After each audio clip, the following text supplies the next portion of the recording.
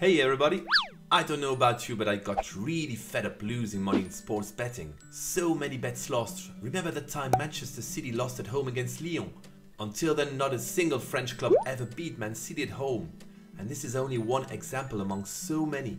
South Korea beating Germany in the 2018 World Cup. I still can't believe it.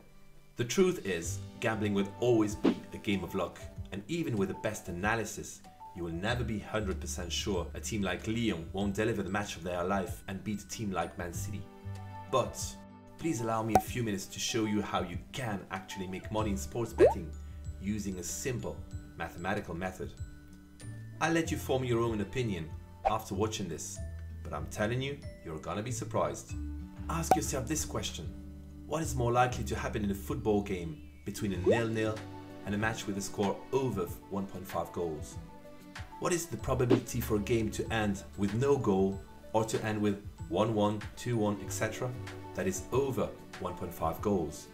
Is there any chance that over a season of 38 match days, a team will play 38 games ending with nil-nil?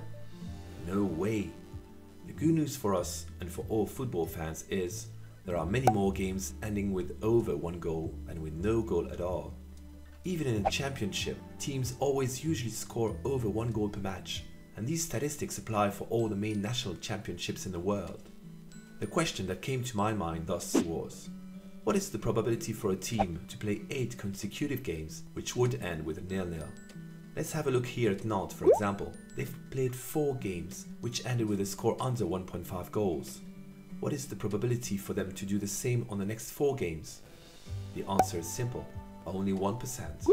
After a series of 4 matches under 1.5 goals, Nantes are 99% more likely to end their next 4 games with a score over 1.5 goals. And this is what happened here as you can see. I'm not making this up.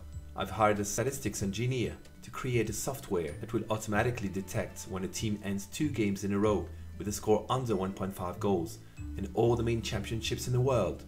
The teams highlighted in green here have just reached their record for example, the German team Wolfsburg ended its last two games with a score under 1.5 goals, and they're playing Leipzig next. Two games has been their record since 2010. In short, this means it's been 9 years since Wolfsburg did not end two consecutive games with a score under 1.5 goals, without the next 4 games ending with a score over 1.5 goals.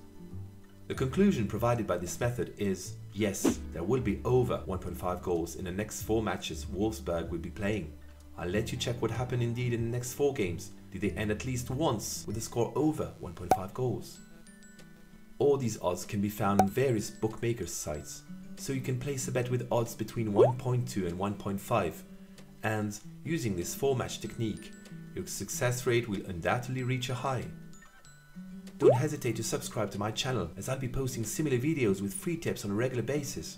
I will provide free statistics like I just did for Wolfsburg so you can check the efficiency of my method.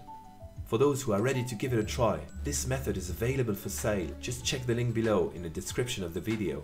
It will grant you full access to the different championships, teams, match days, statistics, etc.